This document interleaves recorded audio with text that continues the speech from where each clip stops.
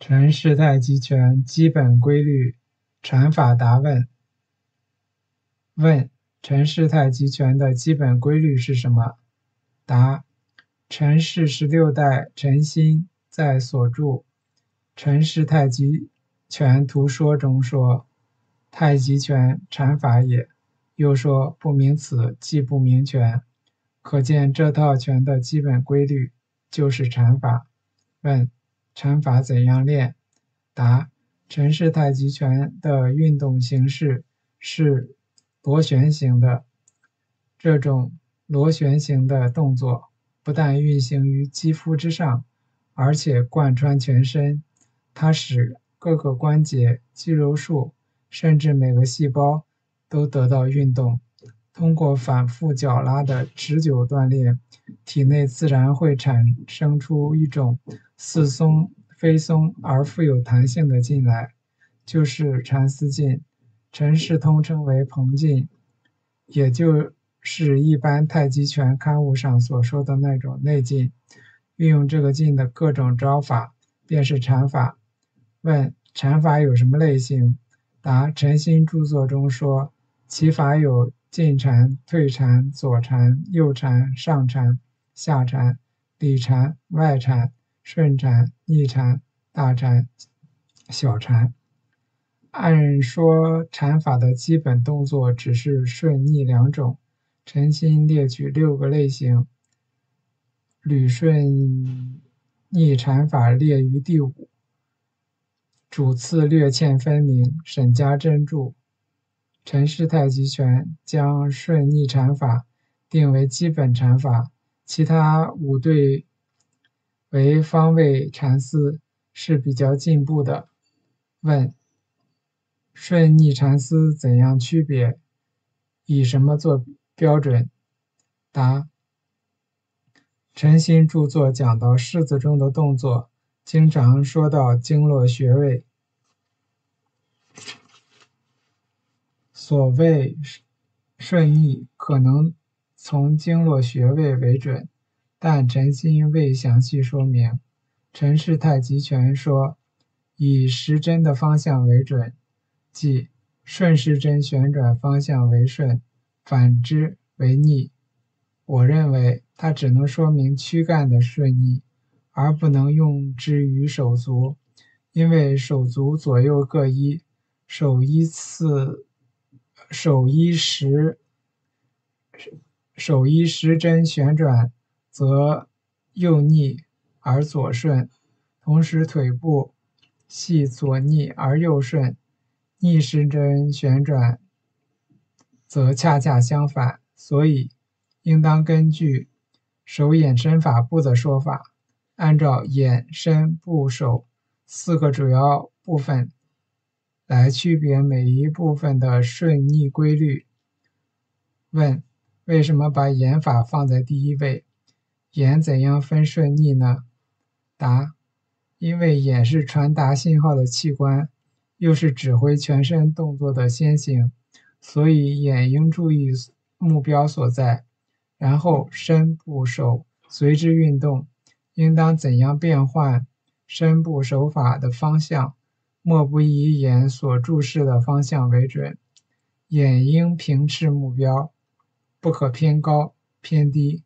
如需向某方向转身进步，眼光转向某方；如步伐不变，眼应注视某事中手的最后一个动作的方向。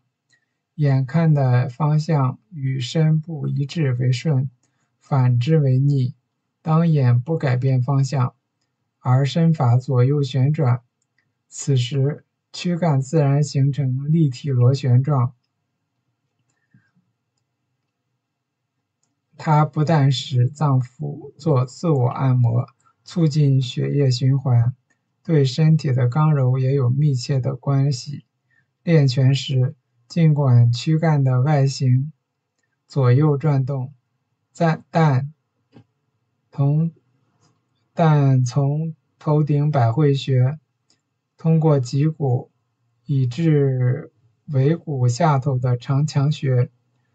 如同一根立柱直立而不摇摆移动，则外形的旋转为柔，内里的劲却是刚的，这便是外柔内刚。右眼注视的目标为点，点的内外为面，面的界限约一百五十度。全论所说左顾右盼，顾的是点为实，盼的就是面为虚，因此左顾的同时也有右盼。顾盼不但为了指挥自己的动作。而且是为了观察对方的动向，以便于因敌变化，同时也应观察到地形和周围环境的情况。由于陈氏禅法的顺逆，主要在于自转，虽然有公转的配合，而言法身法只有自转，而无公转。问：身法的顺逆怎样掌握？为什么身法没有公转？答：按照中针旋转，身左转为顺，右转为逆。身部旋转方向虽然只有左右两面，而旋转角度的大小却因拳势进退变化而各有不同。全论说腰如车轴。陈氏的重心应当在小腹、丹田，要求随遇平衡，所以只许在中间左右旋转，而不许摇摆移动。因此不可能有公转。但是学陈氏拳法必须特别注意尾骨的规律与一般太极拳的根本不同、根本区别。陈新说，尾骨长强穴。在尾骨下方要微往后翻，这样小腹的下侧斜向里收，不但气能自然沉于丹田，大腿根内侧的两条大筋也自然松开，当会阴穴也自然开元，身体旋转的角度随之放大，加上脚尖随身外摆或里扣，而上下相随。使身法中正安舒，不影响重心的平衡。问腿部的顺逆怎样掌握？答：腿部的缠法的顺逆，系随身法的旋转而同时互变，即身左转，则左腿顺缠而右腿逆缠；身右转，则右腿顺缠而左腿逆缠。这是自然形成的。也是一定的规律。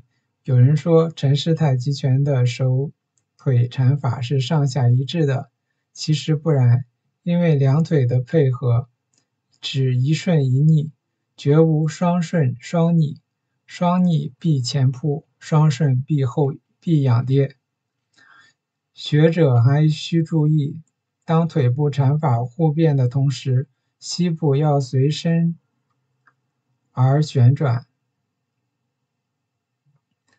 而一提一落，即身左转，则左膝提而右膝落；身右转，则右膝提左膝落。按照全论，例如平准的规律、杠杆的原理来分析，支点在头顶至尾骨，对方加在我身某一部位的力量。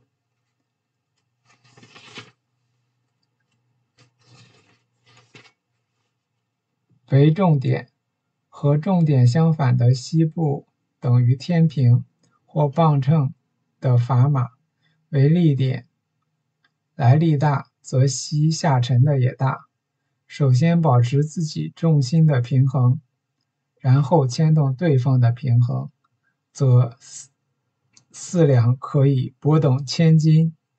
问：陈氏太极拳有哪些步型？答。陈氏的步行约为五大类，即马、弓、盘、虚和独立。马步中又分小正马步，屈膝下蹲，脚向正前，两脚距离一肩宽，如倒对；右侧马步脚尖向右，约两肩宽，如护心拳默唪动作；左侧马步脚尖向左，宽约两肩，如小擒打默唪动作；内八字马步。脚尖略向内扣，如闪通背第六动作；半马步，后膝弓垂，前膝略收，眼胸向前边脚尖，如前趟凹步第二动作。马步又马步中又分。右弓蹬步，将右侧马步的左腿略展而不弓膝，膝向下略垂，如单边。左右反弓蹬步，长拳名扑步，左或右后膝弓而前腿。随脚跟贴地前进，进时脚尖要斜向，要向内斜勾。如倒对第三动作为右反弓，护心拳第四动作为左反弓。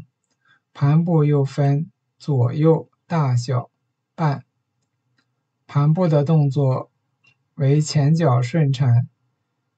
以脚踵为轴，脚尖外摆，后膝内缠。大盘则松膝松垂膝部，脚不离地；小盘则后脚尖为轴，脚踵略提而向后拧转。半盘。的后膝松垂，而前脚尖不外摆。如左转倒对第三动作为左大盘步，斜行凹步第四动作为右大盘步。第一倒对第二动作为右小盘步，右插脚第四动作为左小盘步。六风四臂第二动作。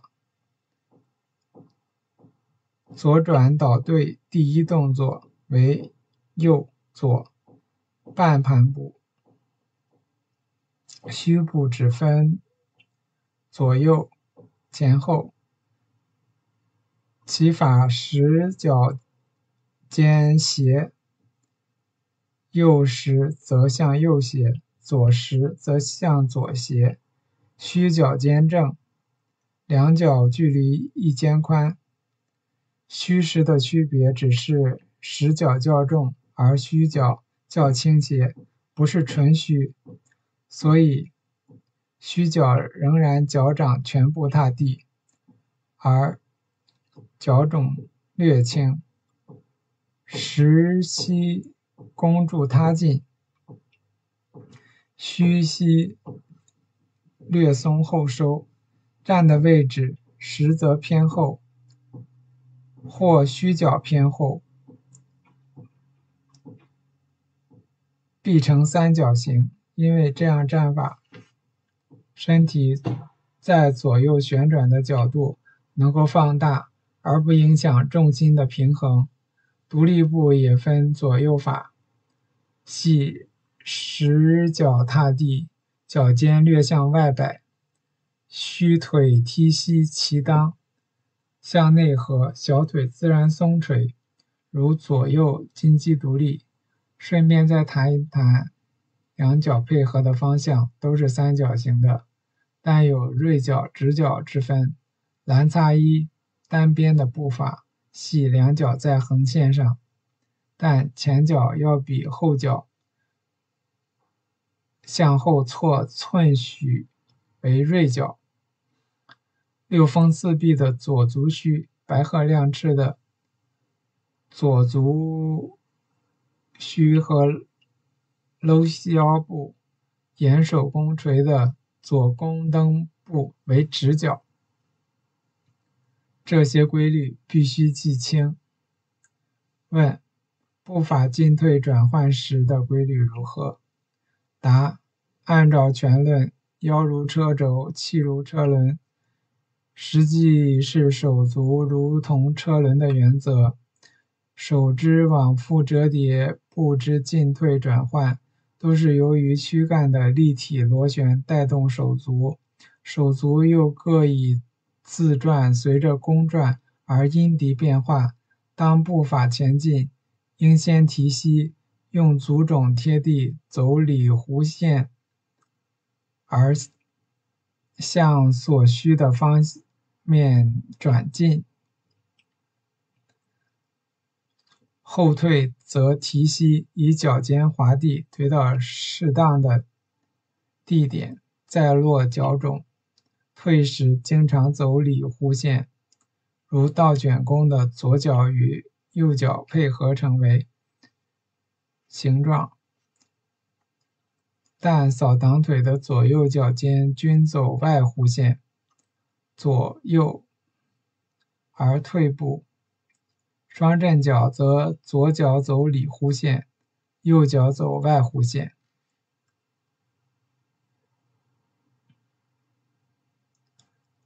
问：提腿的招法有几种？答：陈氏。呃，问：腿脚的招法有几种？答：陈氏腿脚招法有八种，即踢、蹬、踹。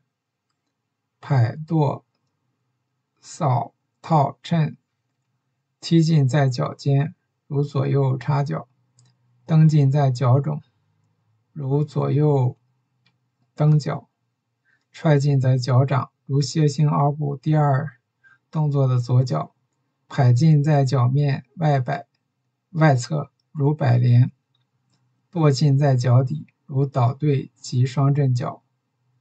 扫分前扫、后扫，如扫堂腿的左脚为前扫，进在脚里侧，偏于脚踵旁；后扫进在脚尖外侧，如扫堂腿的右脚。另有带法，也在脚踵里侧，系扫法的缩小，如右插脚第三动作的左脚。套系进步在对方前腿的外侧，进在膝脚里侧，如第一倒对第三动作的左脚，趁系进步到对方前腿的内侧，进在膝胯部外侧。陈氏的步法进退都包括套衬二法，因旋转而落脚掌，这是陈全论所说。如将物先起而加以错之之力，思其根自断的道理，也是推手歌牵动四两拨千斤的牵动方法。所以陈心说手到腿不到，发人不巧妙。可见步法是如何重要。问《太极拳论》提出双重之病，究竟怎样才是双重？怎样避免此病？答：前手前足全实，或后方手足全实，便是双重。前面双重必出顶进，后面双重必出丢进。问。这么说，手足的配合十分重要了。请问手部的顺缠、顺逆缠法怎么规定？又是怎样和足部配合？答：手部的自转、顺缠、顺逆规律，正如陈氏太极拳所说，以手心或食指的上下翻转为准，手心、食指往上翻为顺缠。往下翻为逆缠，但学者应当注意，手上翻时要小指内勾，大指外拧；下翻时要大指内部，小指向外上挑，尽都围绕着中指旋转。这是手部禅法顺逆变化的基本规律。在自转的同时，还有公转。公转中的自转角度又随着每一式、每一动作而各有加减，这里无法说明。公转分正旋和反旋两种，正反公转的方向又有左右、前后、上下三种。左右正旋中的顺逆自转只有两次变化，即手以心口前自转逆缠，经下颌斜向左或右，以手领肘以肘领间上转。转到中指的高度起眼，立刻松肩沉肘，手变逆手变顺缠，经外下弧线将肘收贴肋部，然后小臂和手随身旋转，回到胸前，恰好转了一圈。这个圈的形状如同鸡蛋的小头在内，大头在外。手指却要斜向上仰，不许下垂。陈心说：“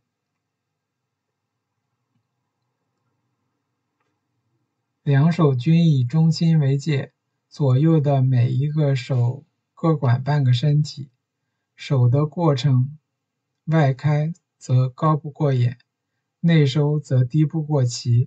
从脐上转到胸前。”如云手的左右手法，左右反旋的顺逆自转，也是只有两次变化，即手变逆、手变顺缠。由外向内收时，肘尖必须走里上弧线收转到乳房，然后变逆缠，将肘收贴肋部，手转到心口前，再以手领肘。以肘领间经胯部内侧斜向左或右方上转，至其眼为一圈。这个圈如鸡蛋的小头高而在外，大头低而在内。十字手便是这种手法，前后旋多数采用反旋，如搂西腰部、倒卷弓等式。它的顺逆变化就比左右旋转的变化多了一倍。一般是手由前方内收时顺缠，缠肘贴肋，手经过口手口立变逆缠，经胯旁向后转出，转到后外斜角。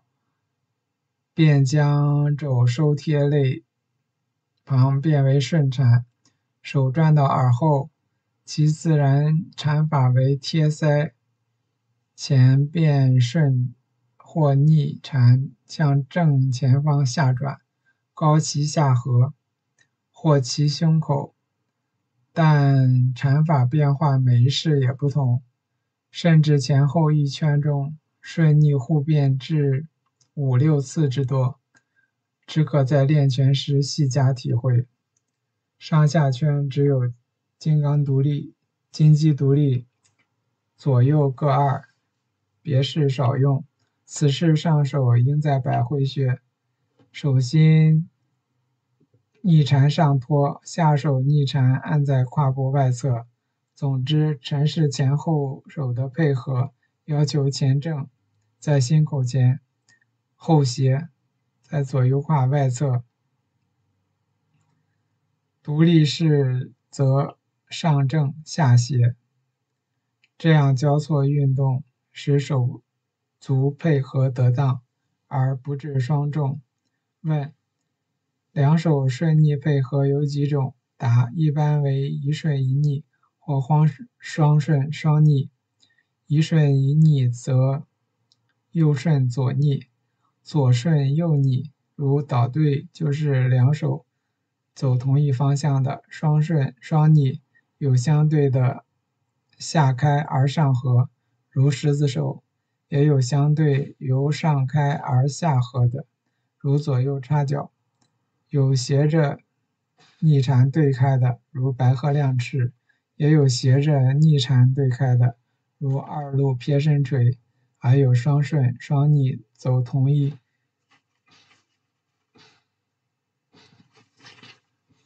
轨道的，如六风四壁。双推手的四五两动作。问：手的招法有哪些？怎样变化？答：太极十三式为彭捋挤按踩咧肘靠，前进后退左顾右盼中定。中定的规律，陈氏是重心的随意随遇平衡。左顾右盼主要属于言法，前进后退主要属于步法。前文已概括介绍。捧捋挤按踩咧肘靠八法，则专指手部三节肩肘手的招法。讲彭字有两个含义：一为捧紧，系缠丝劲，贯穿于周身的手的八法都需有捧紧，若无捧紧，便有形无质；一为招法，在拳式中第一动作或转折之处，或顺或逆，都属彭法。因为双方交手必然先接触，所以接触变为捧法。陈氏的捧法有多样，有前捧，如倒对第一动作；引捧，如同式第二动作；侧捧，如左转倒对第一动作的为左侧捧，右转倒对第一动作为右侧捧。平捧如六风四臂第一动作，进捧如脚筋打第一动作，退捧如出收，正捧如倒对第一动作，反捧如二七脚抱头推山第一动作。因对方从背后袭击，所以称为反捧。下捧如蓝茶衣第一动作，上捧如。退步上阵脚第二动作等等，多数多至数十种，此处仅举大概。通不外乎陈心所讲口诀：直来横拨，横来捧压的原则。因地变化，驴踩咧都是随对方的来劲的方向。而向自己的身体左右两方引进落空的手法，捋咧都是顺缠接对方手腕，右手来右手迎，左手来左手迎。左手引缠则肘贴在左肘左肋，手贴心口，右手搭在对方的左肘关节外上侧。走下他外捻进，与左手用合力引进，右手用分力使它落空。如六风四臂第三动作是左捋法，闪通背第二动作是右捋法。咧法比捋的圈儿略小，但捋时前手高，咧则前手低，如倒卷弓左右退步时的手法。咧的前手由于下塌的劲大，容易伤及对方及反关节，不可轻视。踩法虽和捋咧同类，但接手后即走逆缠，而且由高处引进，令手以顺逆反旋配合而动。较之捋咧，不但圈子放大，走合力的过程较多，如金刚倒对第三动作。为进左部的双右踩，白鹤亮翅为退右部的右踩左按，所以初学推手往往采用用踩法引进对方的手腕，起按都是随化对方的来劲而反击的手法，手背向人为起，手心向人为为按。即可以用逆缠，如搂膝腰部第三动作，左手也可用顺缠，如第一高探马第五动作的右手。双按法可用逆缠，它的方向约有数种。双按如六风四臂、双推手、抱头推山，最后动作方向较平。向下单按如闪通背第六动作，左手方向偏下用逆缠，金鸡独立，上手虽是上托，也属于顺缠变逆缠按法。向前下方方进按，则用。缠顺缠，如第一导对第四动作的右手是配合左手的前几同膝而发的，肘是双方距离较近的招法。陈氏分奥兰、顺兰、连环肘等。奥兰系右肘前发，而右部在后；顺兰系右肘与右部方向一致。连环肘是先右后左的向身之右左后方交替而发，如二路手肘式、陈氏太极拳名兽头式。背折靠如岩手弓锤、高探马的左肘，全有攻击背后有人搂腰的作用，但应注意陈氏。呃，陈氏拳步法总是配合手肘而先行站好部位的，所以发肘时不许将肘突出内外，手心仍需正对心口，否则易被推出。因肘部攻击的部位正当胸肋要害之处，推手禁用。陈氏靠法用于双方极为接近之际。有肩靠、背靠、胯靠、臀靠等法。肩靠又分肩部里侧、外侧，它是和肘手三节连环而发的，可由脊肘变靠，也可以由靠变肘脊。七寸靠用肩部上方攻击对方小腹，因早期陈新。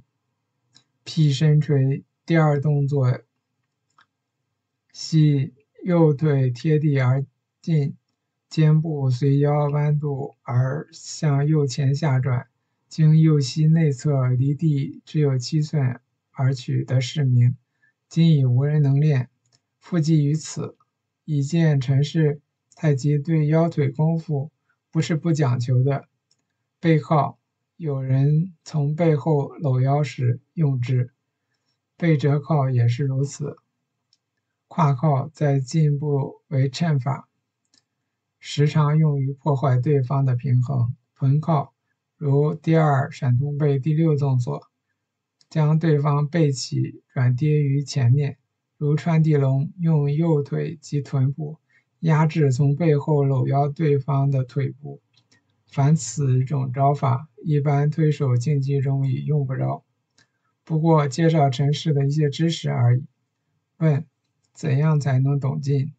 答：懂劲就是懂得怎样随着对方的招法进入，而适当的变自己的眼、身、部、手的方向。总以松圆为主，又要将拳式中每一个动作练到十分正确、十分纯熟。自能得心应手。陈心说：“周身上下都是拳，挨着何处何处击。”又说：“我亦不知玄亦玄。”也正如王宗岳所说：“有招数而见物懂劲。”我认为，应当在学拳式子时，首先讲明第一动作是什么招法，并了解它有为什么转变，做到练拳时。无人若有人，才能交手时有人若无人。问：陈氏呼吸怎样配合？怎样吸气？怎样行气？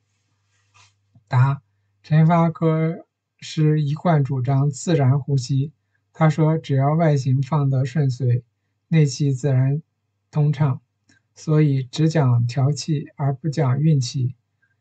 勉强以呼吸配合动作有意识的运气，弄不好反而憋气，影响健康。